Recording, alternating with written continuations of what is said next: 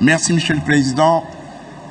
Monsieur le Président, Monsieur le ministre de la Justice, garde des Sceaux, Monsieur le ministre du Travail, mon ami Sambassi, le texte qui nous est soumis aujourd'hui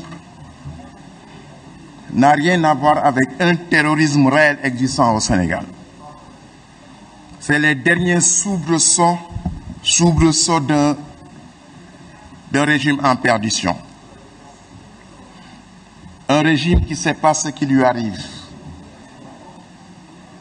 Un président qui n'est plus le maître du jeu.